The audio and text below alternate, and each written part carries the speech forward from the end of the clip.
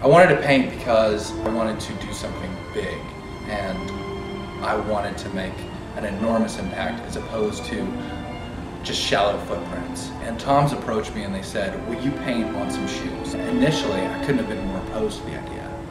But then Blake told me that the shoes were made of canvas and it just seemed like a perfect match.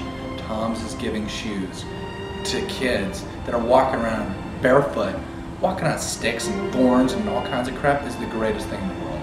And I couldn't be happier